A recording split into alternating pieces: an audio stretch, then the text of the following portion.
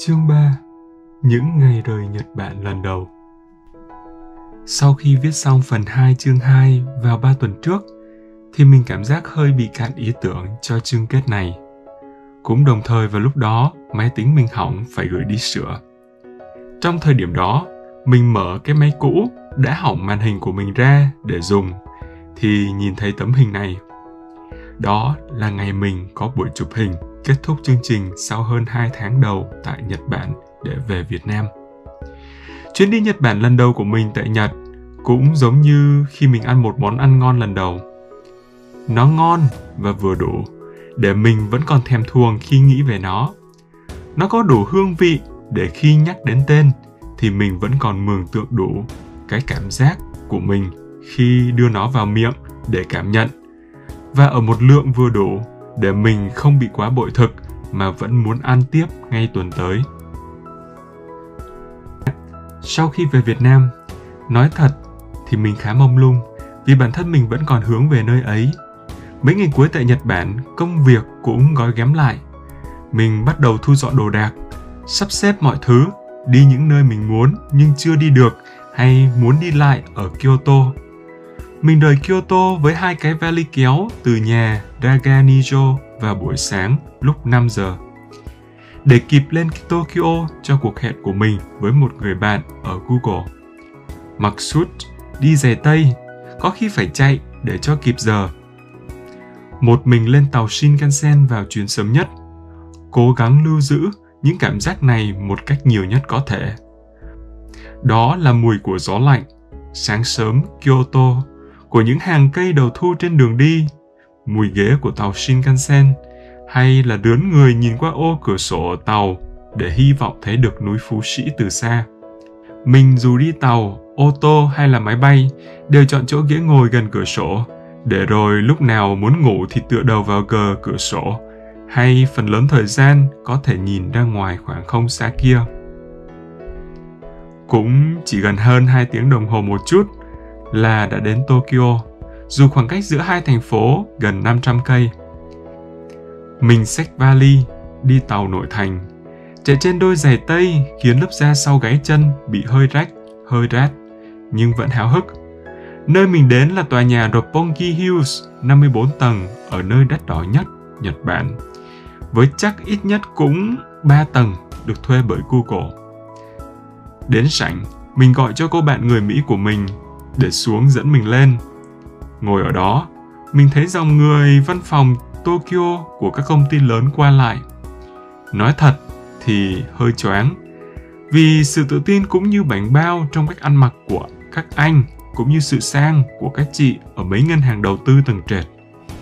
Đợi một hồi, cô bạn của mình cũng đến, đúng kiểu Google mà. Bạn mình xuất hiện với một bộ đồ không thể thể thao hơn, áo khoác cùng với quần jumpsuit rộng và một chai nước mà hồi nhỏ mình đòi bố mẹ mình mua gắn trên chiếc xe đạp thể thao ở nhà.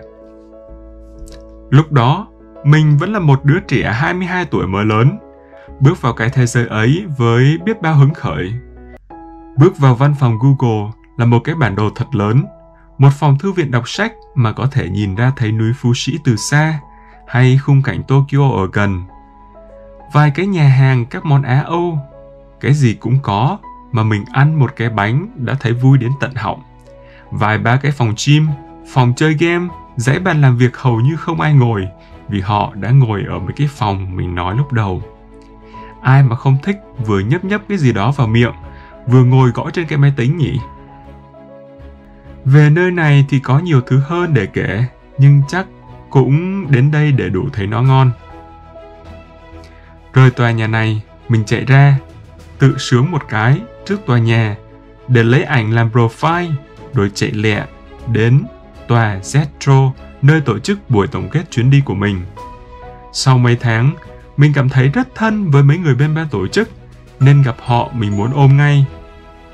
Gặp họ mình đều chủ động mở tay và ôm lấy họ.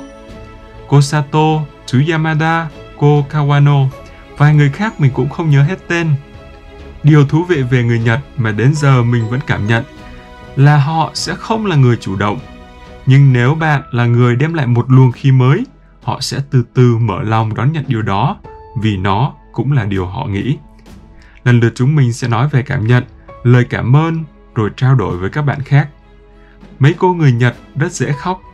Mình nhớ có cả người bên công ty của chị Yến, một chị từ Hà Nội tiếng Nhật N1 lúc đó. Lúc chia tay là bật khóc ở phía sau mình. Nhanh tay mình liền lấy trong túi bọc giấy và đưa cho cô ấy. Đêm cuối cùng ở Tokyo, chúng mình được đưa về phòng khách sạn. Khác với lần đầu, lần này một phòng hai người. Mình được sắp với một người khác. Sau khi ăn xong, mọi người thì đi tụ tập với nhau để làm gì đó. Mình cũng không để ý. Bản thân mình thì lại không muốn tham gia vào lúc đó. Với lại, mình cũng có hẹn với cô bạn ở Google đi quẩy. Nhưng rồi lúc cô ấy nói đi ba thì mình cảm giác lại thôi. Ở phòng, tận hưởng đêm cuối vậy. Lúc nằm và không làm gì, mình cũng khá sợ thời gian này trôi qua.